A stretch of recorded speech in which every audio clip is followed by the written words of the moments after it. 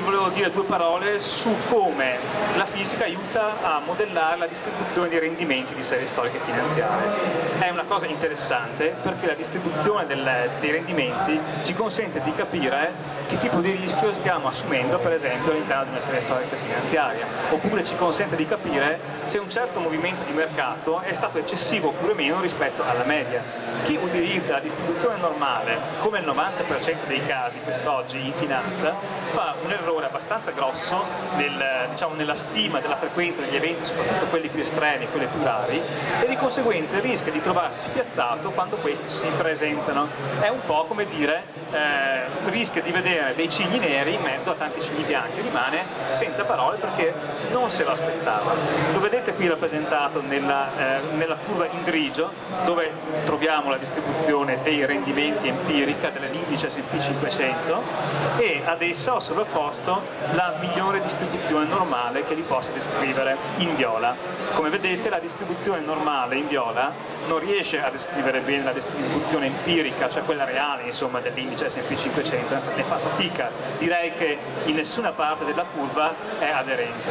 Allora noi dobbiamo utilizzare quello che vi dicevo prima, cioè il pensiero scientifico, l'approccio deduttivo, per arrivare a delle ipotesi che ci consentono di descrivere correttamente almeno la serie storica passata, ma anche di avere una buona probabilità di riuscire poi a dire qualche cosa per il futuro, che forse è la cosa più interessante. No?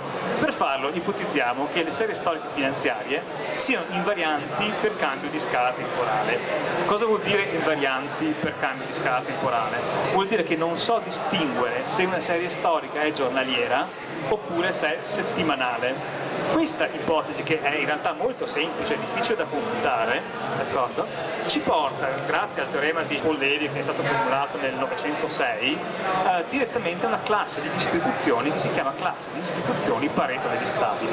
Senza entrare troppo in questi grossi nomi, eh, vi faccio vedere come queste distribuzioni che non sono nate dall'evidenza empirica, cioè non è che io ho provato 500 distribuzioni fino a trovare quella giusta, ma nascono da un'ipotesi teorica, ecco, ora vi faccio vedere come queste distribuzioni che nascono da un'ipotesi teorica spiegano i dati sperimentali, cioè i rendimenti dell'indice S&P 500 e lo potete vedere qui rappresentato in blu.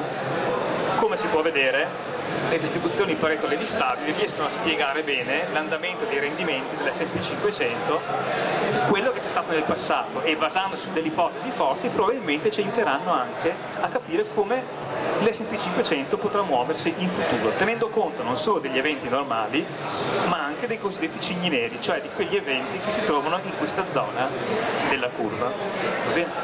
C'è qualche domanda su questo particolare tema, sulle distribuzioni di Pareto levi stabili? Ecco, quindi è un modo che ha delle origini teoriche forti per cercare di capire come è strutturata la distribuzione dei rendimenti.